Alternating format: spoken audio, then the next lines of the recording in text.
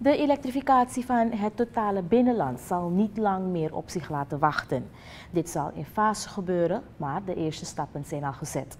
Dat verzekert, verzekert minister Sergio Akimboto van Natuurlijke Hulpbronnen. Hij verwijst onder meer naar het zonne-energieproject dat momenteel wordt uitgevoerd in boven Suriname. De grootste twee dorpen Guyaba en Pikinslee worden binnenkort voorzien van stroom. Akimboto zegt dat de regering niet stil zit wanneer het gaat om de elektrificatie van het achterland. Van tijd om het uit te voeren. Uh, boven Suriname gebied komt in aanmerking. Uh, immers, we zijn ook al begonnen met een andere partij om uh, de twee grote dorpen in het gebied te voorzien, is en Pekinslee. Ik denk dat dat een levend bewijs is dat de regering menens is in ieder geval om te voorzien in, in, die behoefte omdat uh, we weten hoe belangrijk uh, elektrificatie is. We weten hoe belangrijk het is voor onderwijs, voor gezondheidszorg, voor productie. Um, uh, maar, um, en de mensen ontberen het jaren. Dus ik denk dat met gebaar het teken dat we, dat, we laten, dat we laten zien dat we zijn begonnen in twee dorpen als stap om te pilot dat duidelijk um, signaal is naar deze gemeenschappen toe. Um, we gaan verder natuurlijk met partijen die uh, we hebben aangetrokken om uh, te investeren, maar zeker wel ook om te kunnen deliveren, um, om te voorzien in elektrificatie. De planning is de bedoeling dat het, het geheel binnenland te voorzien, nu op basis van solar-energie. Along the way kijken we ook naar andere mogelijkheden.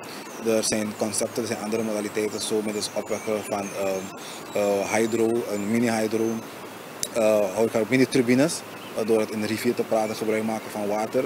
Um, er is ook wat nu een studie gemaakt voor windmolenenergie.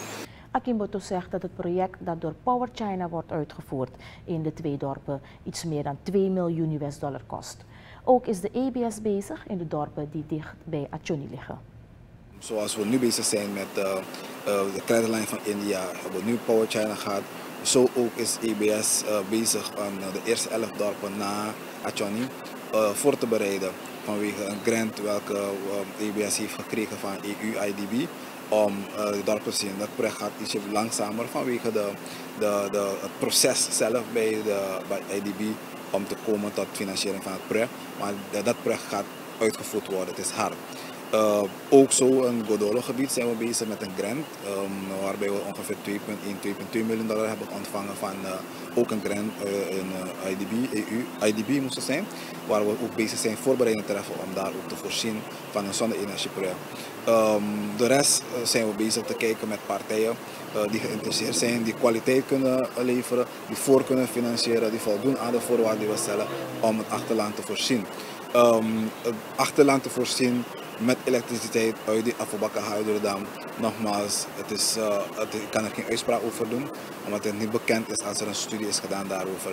En um, als dat haalbaar is technisch, dan, dan zullen we dat niet voorschromen om het te doen. Maar voor nu kijken we naar andere alternatieven om het uh, achterland te voorzien van elektriciteit. Minister Sergio Akiboto van Natuurlijke Hulpbronnen. Hij verzekert dat de elektrificatie van het binnenland een kwestie van tijd is.